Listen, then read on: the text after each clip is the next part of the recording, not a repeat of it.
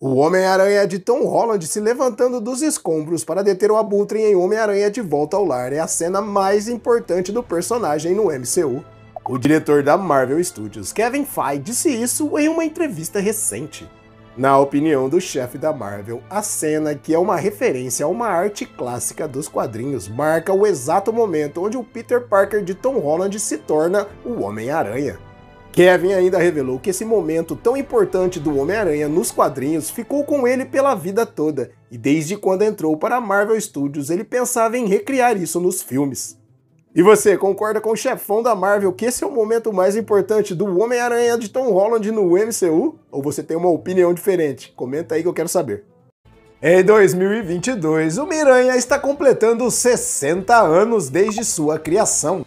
E para comemorar o nível do Teioso, a Marvel lançou uma campanha em suas redes sociais.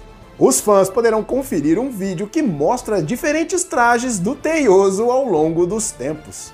Se você for fã do Homem-Aranha, corre lá para conferir. Mas antes, deixa um like aqui, né?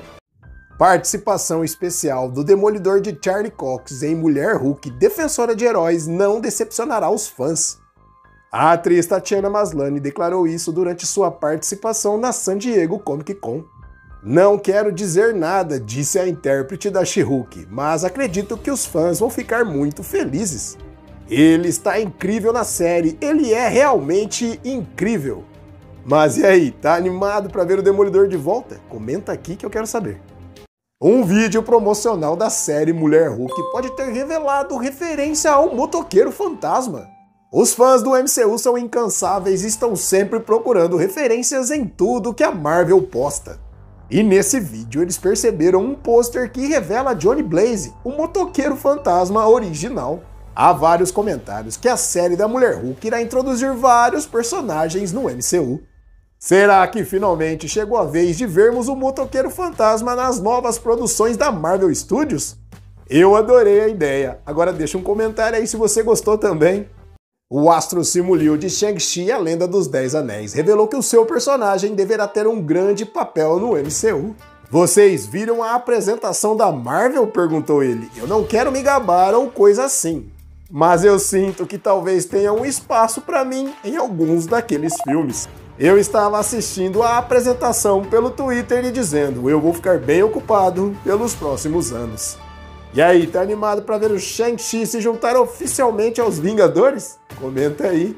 O ator Chris Pratt usou seu Insta para comemorar os oito anos do primeiro filme dos Guardiões da Galáxia. Pratt postou um vídeo com algumas cenas de Peter Quill e na legenda ele escreveu: Oito anos atrás, O Senhor das Estrelas e os Guardiões da Galáxia chegaram aos cinemas.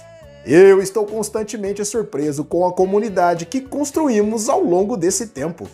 E tudo por causa de vocês. Obrigado por nos permitir fazer o que amamos. Nunca esqueçam, somos os Guardiões da Galáxia. Apesar da mancada que ele deu contra o Thanos, o Senhor das Estrelas é um personagem que eu adoro. E você, curte o Quill também? Comenta aí pra eu saber.